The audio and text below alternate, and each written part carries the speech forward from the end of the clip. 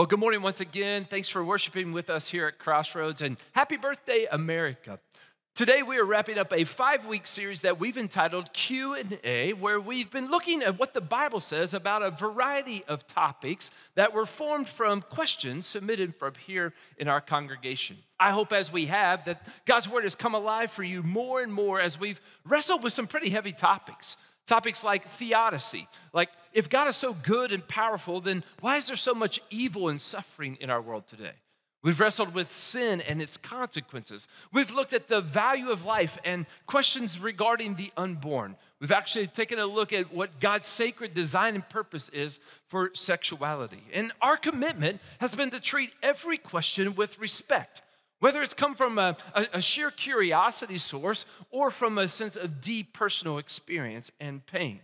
We've been seeking God's wisdom and truth revealed to us in the Bible and also through the way that Jesus lived and loved in his life. We're approaching today's question with the same posture and heart. And, and if you think that the church has been quiet about issues about life and sexuality, you're probably of that same opinion as you hear about topics uh, like today the topic of mental health. Here's our question for today What does the Bible have to say about anxiety, depression, mental health, and suicide? Let me once again stress that there are often no simple yes or no answers to complex questions, nor will 30 minutes of time be enough to fully address the nuances and dynamics of such a, a very important topic. But we're going to once again provide resources for those who might be wrestling with these issues as well as for everyone, and how we can be equipped to show God's love and grace to, as we care for those who are. I want to stress that there is really no us and them when we relate to the topic of mental health. Let's begin by acknowledging that God created us with physical, spiritual, sexual, mental, and emotional aspects of life that provide us opportunities to reflect His image and character. Each of these aspects of humanity also create vulnerabilities in our struggle with sin and footholds for Satan to try to fulfill his modus operandi that is, to kill, steal, and destroy. Anxiety, depression, and mental illness have been part of the human condition from the very fall. Sin created all kinds of human brokenness. While the church has either been silent or even tried to sanitize the subject of mental health, giving the impression that true or strong Christians don't wrestle with any of those, we actually find many people in the Bible who experienced struggles mentally or emotionally, even felt despondent. Moses, one of the greatest leaders of the Old Testament, under the pressure of leading God's people, who were often described as stiff necked and stubborn, he exclaimed, The burden is too heavy for me. Go ahead and kill me. Elijah, one of the greatest prophets of old, after experiencing a, a, huge spiritual victory over the prophets of Baal, he was then threatened by a wicked queen named Jezebel, and he ran for his life and exclaimed, I've had enough, Lord. Take my life. I'm no better than my ancestors. David, described as a man after God's own heart, in his poems and songs recorded in the Psalms, he spoke of feelings of total loss of strength, an ebbing away of all that is worthwhile in life, and groaning all day long. Jonah, the first missionary, became deeply despondent when God did not destroy Nineveh but let them repent. Jeremiah was so profoundly sad that he's known today as the weeping prophet, and he confessed that he wished he had never been born. Naomi, when she lost her husband and two sons, she asked that her name would be changed to Mara, which means bitter. She said that the Almighty had made her life extremely bitter. Leah, well, she suffered emotional stress and trauma from some choices made by her father, the rejection from her husband, and even the feelings of jealousy she had toward her sister, whom her husband loved. In the New Testament, Martha, a dear friend of Jesus, found herself unappreciated, feeling critical and even overwhelmed from the stress of hosting Jesus and his disciples. Peter went out and wept bitterly when he realized that he had, he had betrayed Jesus three times. And Judas was so overwhelmed that he betrayed Jesus that he hung himself. The Apostle Paul mentions that he wrestled and was tormented by a thorn in his flesh. We're not sure if that was mental or physical, but he prayed for God to take it away. And even Jesus himself cried out in despair from the cross, My God, my God, why have you forsaken me? The company of the anxious, depressed, and mentally unstable is a very noble group. Historical leaders, entertainment leaders, athletes, even spiritual and theological leaders have all at times acknowledged their own struggle with anxiety, depression, even suicidal thoughts. Pastor and theologian Charles Spurgeon, he was very forthright about his extreme struggle with depression, and he wrote this The mind can descend far lower than the body, for in it there are bottomless pits. The flesh can bear only a certain number of wounds and no more, but the soul can bleed in 10,000 ways and die over and over again each hour. Whether we want to admit it or not, all of us have been numbered among them. Every one of us has known at one time or another the slap of setback, the grief of loss, or the disheartening effects of stress. All of our lips may have spoken words of discouragement. All of our hearts may have felt the pain of depression. To feel these things is human. No one is exempt from feeling anxious, maybe um, inadequate, overwhelmed, or even alone. We have looked at the prayer requests that people submit even here at Crossroads. And in the top two, things that people ask to be prayed for. The first is cancer, healing from cancer. And the second is peace when facing anxiety. It might be helpful to have some working definitions. Anxiety is the fixation or worry on circumstances that lead to feelings of being overwhelmed or even paralyzed. Depression, well, it's a deep sense of loss, numbness, a lack of interest or motivation for things in daily life. It can be caused by events or circumstances as a result of imbalances in the body or a result of mental illness. Both anxiety and depression can wreak havoc in our lives, from as minimal as distracting us from our work or important moments to leading to physical and mental and emotional disorders that demobilize us and lead to feelings of hopelessness or despair, even the lack of a desire to live. They are both real and serious. They can be highly stigmatized in the church as a lack of faith. And quickly, uh, cliches start to surface. Statements like, well, you just need to have more faith and pray harder. Or remember, rejoice in the Lord always. Or it's time to stop the pity party and just pull yourself up by your bootstraps. Or quoting scripture, I can do all things through Christ who strengthens me. The extreme despair and even suicidal ideations that come with anxiety and depression can be difficult to understand. We might all know the occasional bad day or disappointment and discouragement, but people who are di- diagnosed with mental illness face intense challenges. I am certainly no psychologist or licensed therapist. So, as I prepared this message today, I have relied heavily on my teammates from the Crossroads Counseling Center. Several helpful articles and, uh, that we will share in our sermon resources page, and also from personal conversations with those who have or are currently struggling with anxiety, depression, even those who have attempted suicide or know someone who has. So, so that we can all have a common working understanding of anxiety and depression, let me list several signs and symptoms which may uh, obviously vary from person to person. Here are some symptoms the feelings of sadness, tearfulness, emptiness, or hopelessness, angry outbursts, irritability, or frustration, especially over small matters, the loss of interest or pleasure in most of all normal activities in life, like sex or hobbies or sports insomnia, tiredness, a lack of energy, reduced appetite, or an increased craving for food. Feelings of worthlessness or guilt, fixation on past failures, blame for things that other people do. There's trouble thinking or concentrating, making decisions, or remembering things. Frequent or reoccurrent mention of death, suicidal thoughts, or even suicide attempts.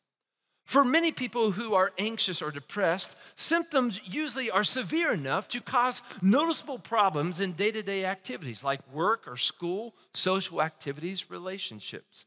Some might feel generally miserable or unhappy, but not know why. People with depression may not recognize or, or even acknowledge that they are depressed. They may not be aware of the signs or symptoms of depression themselves.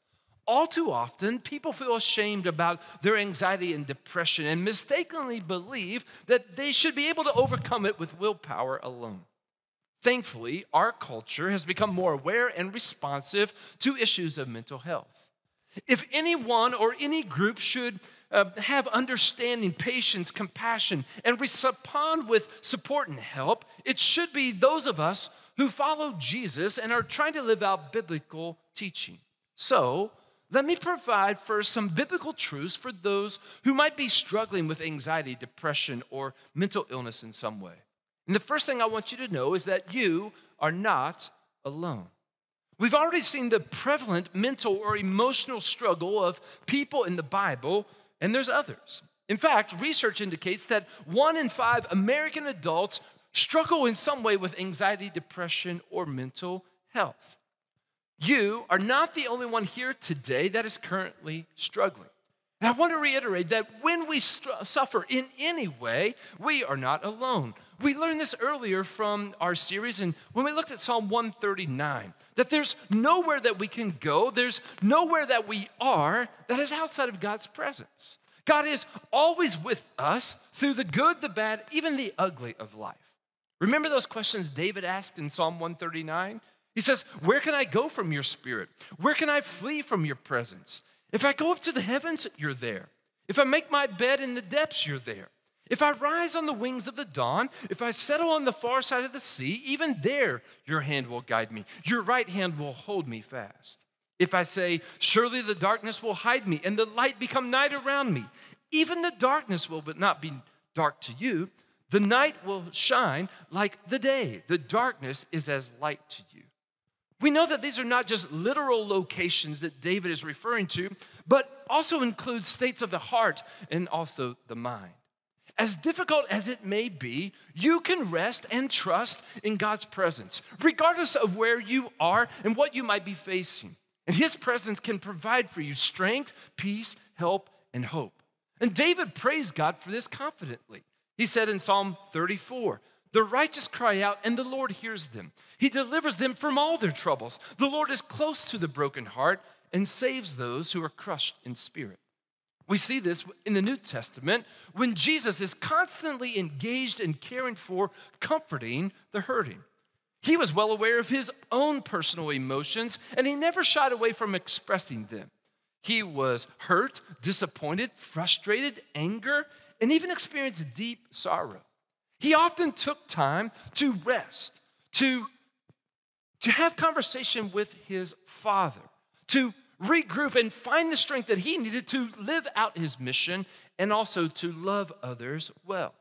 He always cared for his disciples when they found themselves in the midst of a storm, calming the winds and the waves, but also comforting his anxious companions. He cried when he was at the tomb of his dear friend Lazarus, knowing full well of the resurrecting work that he was about to do. In John 14, Jesus promised that he was going to send the Holy Spirit to us who receive him as Savior and Lord. And, and the Holy Spirit would be our comforter, our counselor, to be in us, to be with us. He describes the Holy Spirit as the advocate, and he says this Peace I leave with you, peace I give to you. Don't let your hearts be troubled, do not be afraid. Paul was referring to that same Holy Spirit when he wrote these words to the Romans The Spirit helps us in our weakness. We don't know what we're, we ought to pray for, but the Spirit Himself intercedes for us with wordless groans. And He who searches our hearts knows the mind of the Spirit because the Spirit intercedes for God's people in accordance to the will of God. God knows what you are going through, and He is with you in the midst of it. And He is well aware of how He can and will work in and through your life. So trust Him, turn to Him, recognize the lies of the evil one that is trying to distract you and fill your mind with the half truth. I also want to re- encourage you that this is not your fault. Mental illness might be a result of the sinful choices that Adam and Eve made in the garden. But mental health is not necessarily a, a punishment for sin. It was never supposed to be part of the human condition from the get go. Sin, all sin, separates us from God. And we must not allow the darkness of sin to overshadow the light of Christ. We must be aware that the devil roams around like a roaring lion, and he's trying to devour us, to kill, steal, and destroy us. But Jesus came that we might have life and have life to the fullest. James in the New Testament gives us these instructions. He says, Submit yourself to God, resist the devil, and he will flee from you. Come near to God, and he will come near to you. Our strength, our help, our hope is in trusting God and pursuing him above all things. And that's why Paul wrote to the Philippians these words Don't be anxious about anything, but in every situation, by prayer and petition, with thanksgiving, present your request to God. And the God of peace, which transcends all understanding, will guard your hearts and your minds in Christ Jesus. And then he says, finally, brothers and sisters, whatever is true, whatever is noble, whatever is right, whatever is pure, whatever is lovely, whatever is admirable, if anything is excellent or praiseworthy, think about such things. You and I can make choices that will help direct our thoughts, emotions, and actions. We can set our minds on things above, the things of God. And we can allow the truth of God to fill our hearts and mind, not the lies or the deceptions of the evil one. It is a battle, but we have God on our side, and we can rely on His strength, and He will bring about victory. Finally, let me encourage you to rest in God's promises. The Bible isn't afraid to acknowledge and address mental health. A third of all the Psalms are actually laments. These are prayers of desperation to God, mostly from David. He's honest about how he is feeling, and he talks to God openly about it. And almost every time, David ends with a prayer of praise for God's faithfulness, recalling how God has worked in his behalf, rescued him, delivered him, strengthened him, even comforted him. Psalm 13 is one of these prayers of lament. Let me just read it for you. How long, Lord, will you forget me forever? How long will you hide your face from me? How long must I wrestle with my thoughts and day after day have sorrow in my heart? How long will my enemy triumph over me? Look on me and answer me, Lord my God. Give light to my eyes, or I will sleep in death. And then my enemy will say, I've overcome him, and my foes will rejoice when I fall. But I trust in your unfailing love, David says. My heart rejoices in your salvation. I will sing the Lord's praise, for he has been good to me. I now want to take a few moments to provide some practical ways that we can all help care for those who might be struggling with anxiety, depression, and even mental illness. As with many uncomfortable situations, we can all feel tempted to ignore, avoid, or even abandon a person who is struggling. But every example of Jesus shows the opposite. He was present, fully engaged. He always had time for people who were hurting in any way, and he deeply cared about the individual. So, here's a few things to keep in mind as we attempt to live in love like Jesus in relationship to those who are struggling, maybe with anxiety, depression, or in, with mental health. First, listen. Be a safe person to, li- to talk to by asking open ended questions that require more than a yes or no answer. Here's a question you might ask someone How are things going? Genuinely care about their response and do not judge or attempt to correct.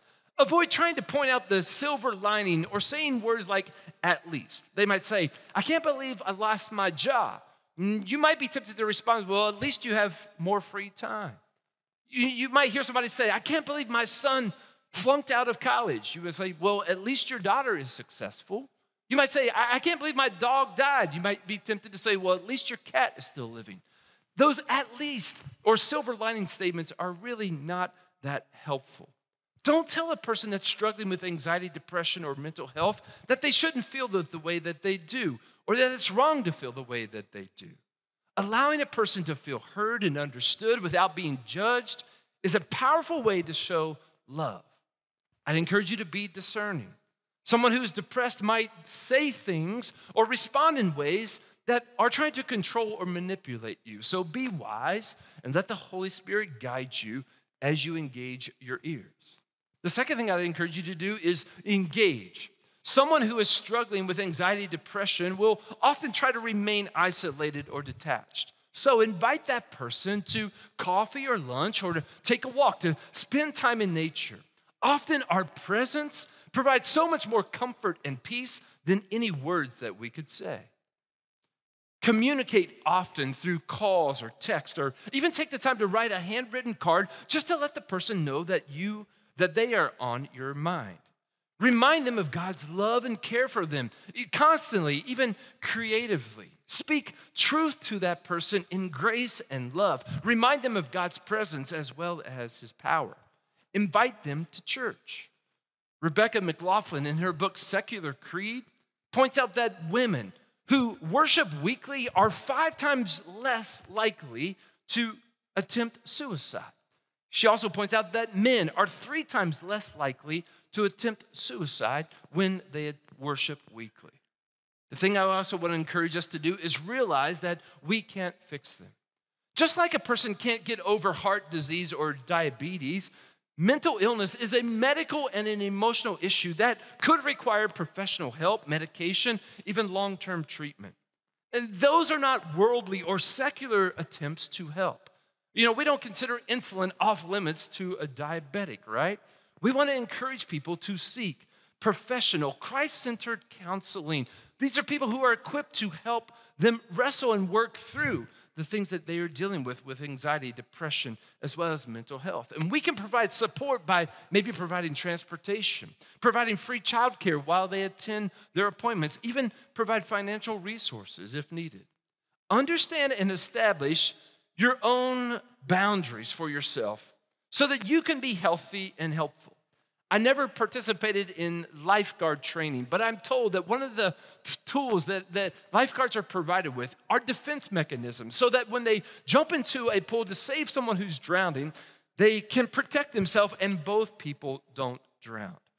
Caring for someone who is struggling can be very difficult, and that's amplified if they've attempted to harm themselves or have even attempted suicide. I want to encourage you to never give up to stay healthy yourself by having a strong support network for yourself and to trust God to do what only He can do. Finally, I want all of us to know the signs of self harm and suicide.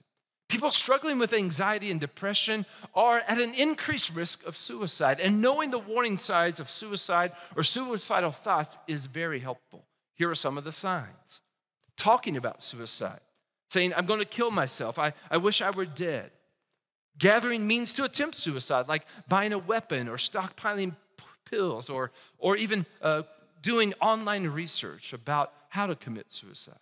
Doing risky or self destructive behavior, giving things away, getting their affairs in order with really no logical explanation.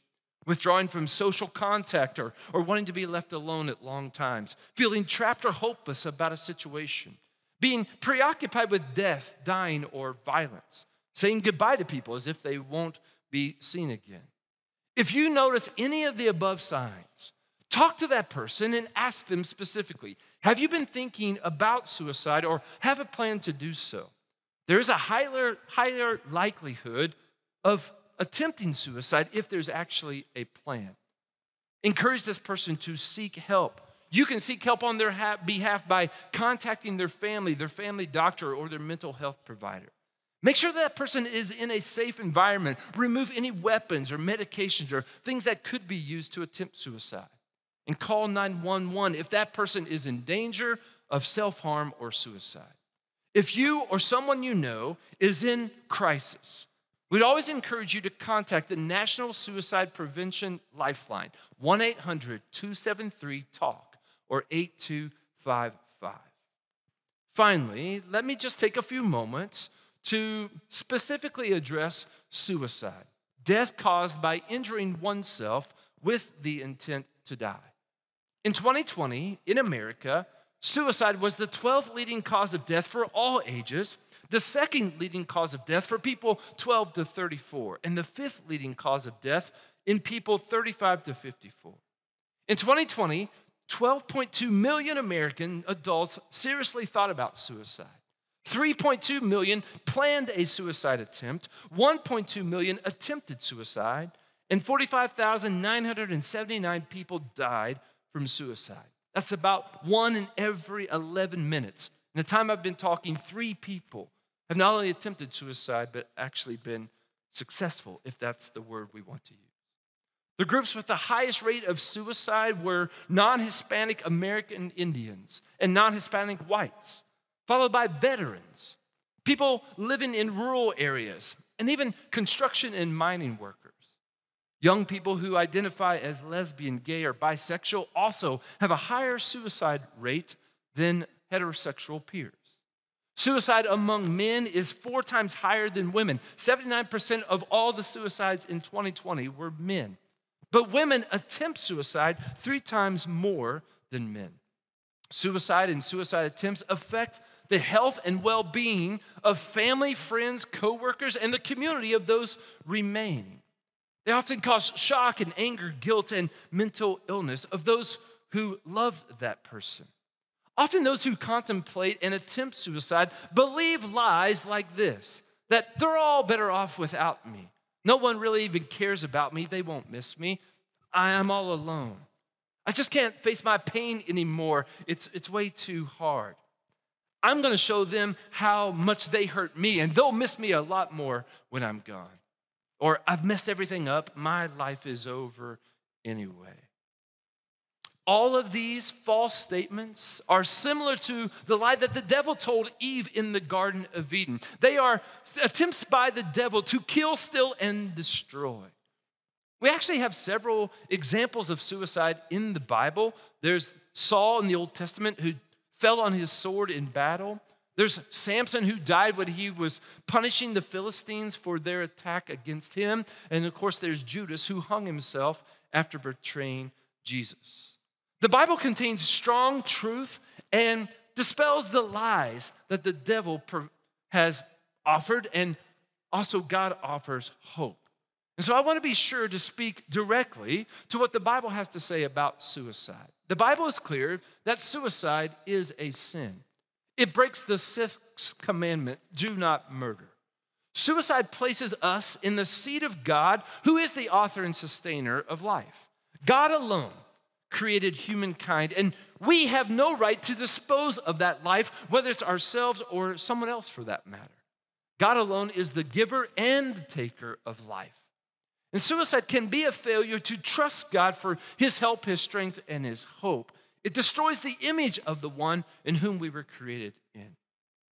But I also want you to know that the Bible is very clear that suicide is not the unpardonable sin.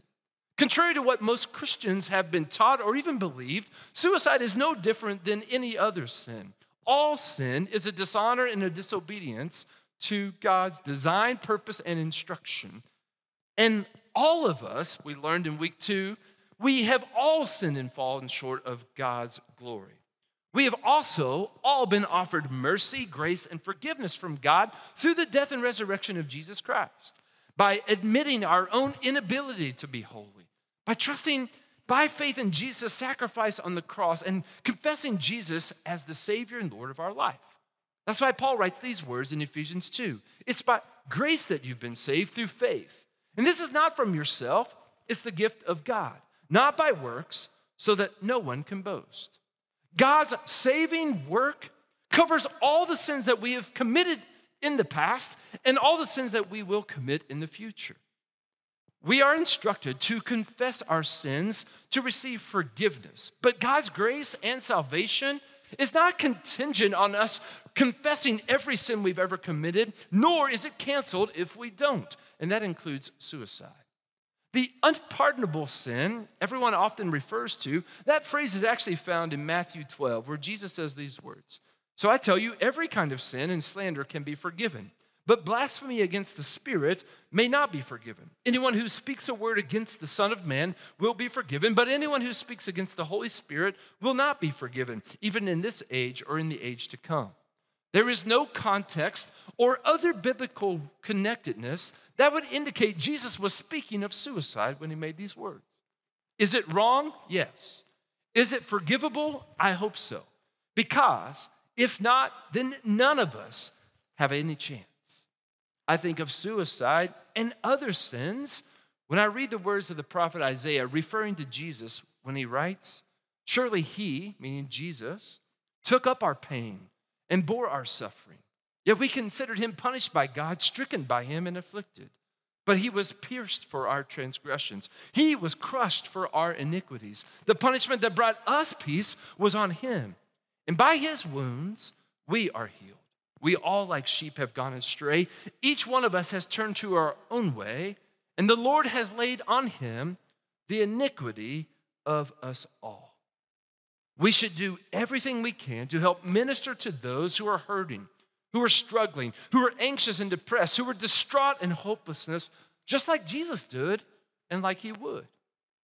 We must point people to the truth found in the Bible about God's character, his power, his goodness, about the value he places on every person created in his image, about the sacred design and purpose he's given to each of us to reflect his image and trust his wisdom and his ways to find our identity, our satisfaction, and our joy in Him alone, and to live with purpose and power every day.